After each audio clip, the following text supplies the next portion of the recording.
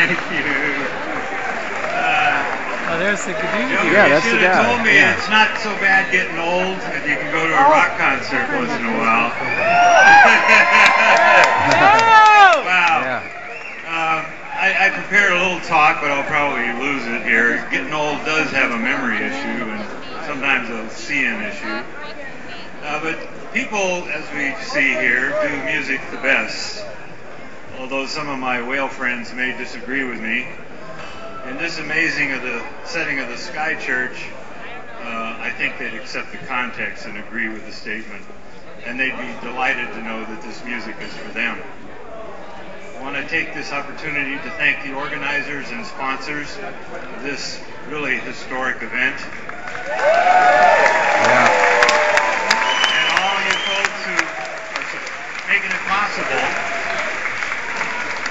And I especially want to thank the fabulous musicians and entertainers who have generously contributed their time and talent to the cause for the whales.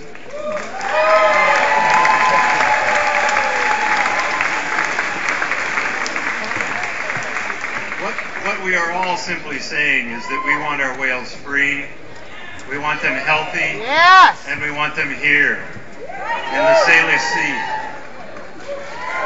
Yes. All right, they are our totems and indicators of a healthy marine ecosystem, and we welcome them back to that role which much of our society has too long forgotten. When I began studying whales in the early 1960s, I took along a camera to capture images of their magnificence, some of you see here.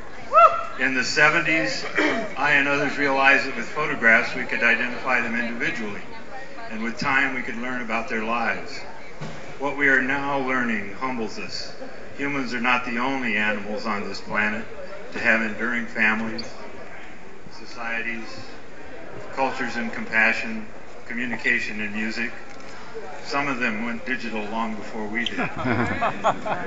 Three minutes of my jabbering up here on stage is not enough time for me to share with you their magnificence and what we've learned, but it is enough time for me to invite you to come and see them, by land or by sea, and learn much about them from professional naturalists and interpreters.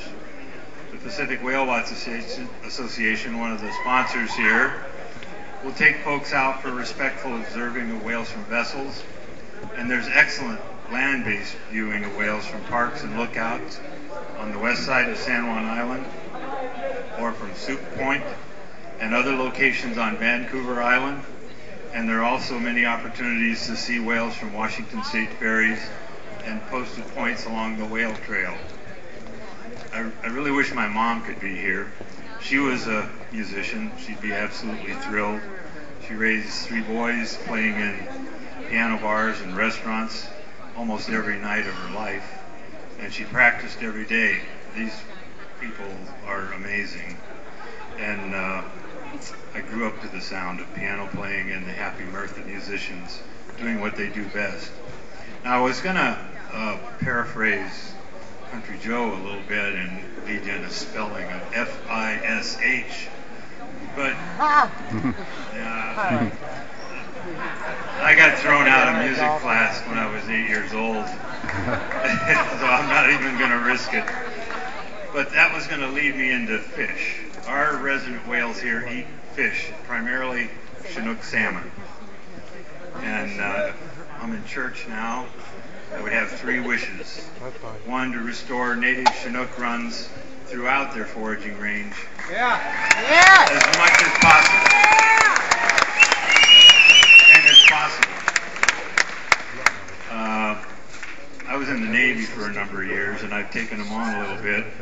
Uh, we do have to stop bombing, bombing and sonar blasting in their critical habitat. Yes. Yes. We yes. have to. And uh, that's to end it up here. I want to end up with a plea for Lolita. She can be retired. She can Right. be returned. Yeah. It's all possible, and we can do it. Lolita. So why not? Thank you.